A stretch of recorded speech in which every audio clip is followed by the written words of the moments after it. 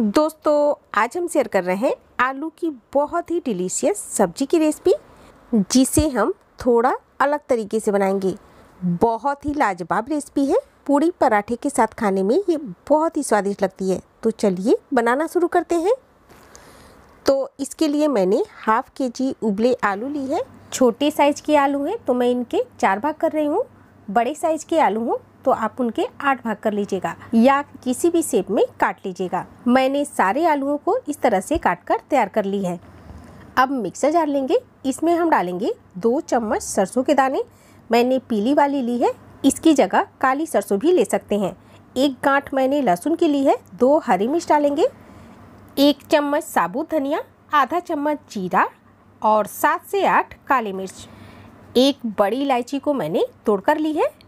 एक इंच दालचीनी के टुकड़े डालेंगे और इसमें दो से तीन चम्मच पानी डालकर हम इनको महीन पीस लेंगे। और देखिए, इस तरह से मैंने इनका महीन पेस्ट तैयार कर ली है। अब मैंने गैस पर कढ़ाई रखी है। इसमें हम डाल रहे हैं दो टेबल स्पून तेल।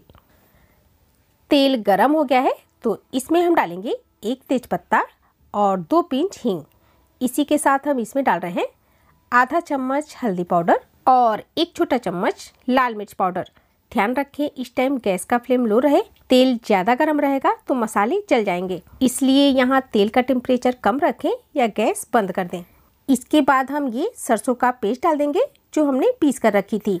अगर आपको हल्दी और मिर्च तेल में नहीं डालना है तो पेस्ट डालने के बाद आप इनको डाल सकते हैं। पर इस तरह से सब्ज़ी का कलर बहुत अच्छा आता है। तो सारे पेस्ट को मैंने डाल दी है। इनको हम अच्छे से मिक्स कर लेंगे। अब जार में लगे मसालों को हम वेस्ट नहीं करेंगे।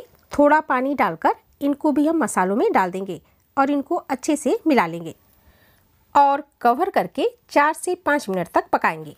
सरसों का मसाला है तो इनको पकने में थोड़ा ज़्यादा टाइम लगता है। तो देखिए कवर करके मैंने इनको लो मीडियम फ्लेम पर चार से पाँच मिनट तक पका ली है। और देखिए, तेल मसालों से अलग होने लगा है। तो अब हम इसमें टमाटर डाल देंगे। यहाँ पर मैंने एक टमाटर को बारीक काट कर ली है। यहाँ पर आप टमाटर का पेस्ट या प्यूरी भी ले सकते हैं। साथ में स्वाद के अनुसार नमक डाल देंगे और इनको अच्छे से मिला लेंगे।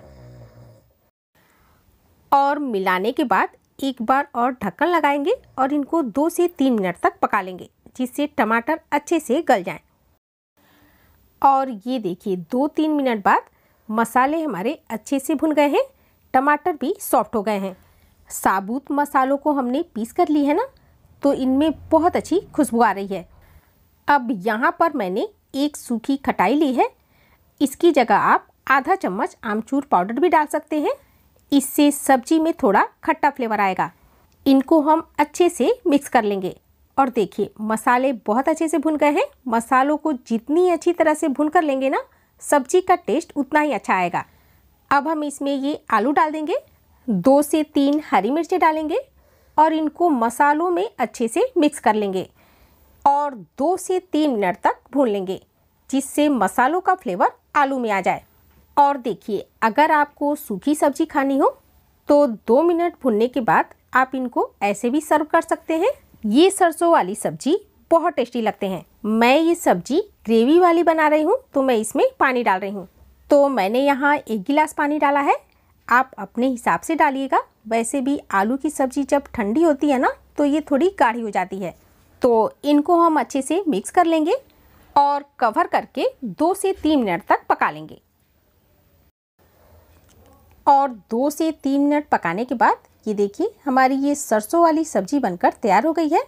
थोड़ा सा बारीक कटा हुआ हरा धनिया डालेंगे और इनको सर्व कर लेंगे। बहुत ही लाजवाब सब्ज़ी बनती है।